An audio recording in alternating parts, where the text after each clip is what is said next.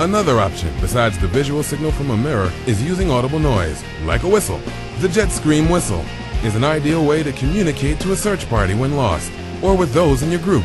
To use the JetScream whistle, simply place your mouth over the opening and blow with force. The JetScream whistle was designed without a pea or a BB so that it won't foul or freeze during cold weather.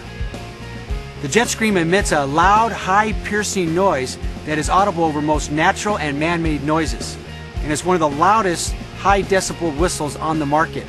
Its flat design was created so that it could be up against the body or put in a pocket and not create any discomfort.